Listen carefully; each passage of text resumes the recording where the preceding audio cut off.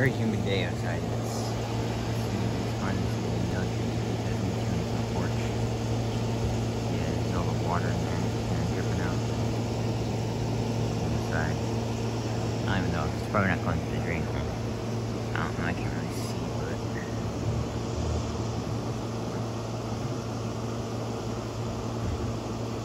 Know, it doesn't really like it. I do remember I remember the drain plug, but I mean, it might. Um, water in there though, but eventually I might have to use paper towel on the side get